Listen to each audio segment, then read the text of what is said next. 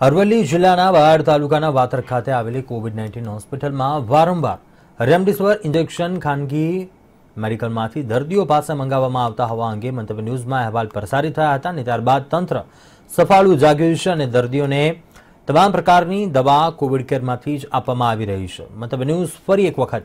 જનતાનો અવાજ બનતા દર્દીના સગાએ મંતવ્ય ન્યૂઝનો આભાર માન્યો હતો.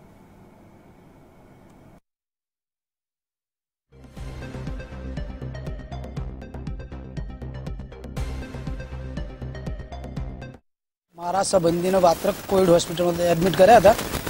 એ સમયે દવા ઇન્જેક્શન અને દવાનો જથ્થો નહોતો.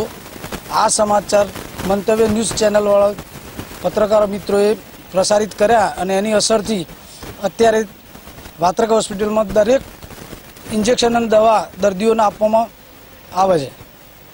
એ માટે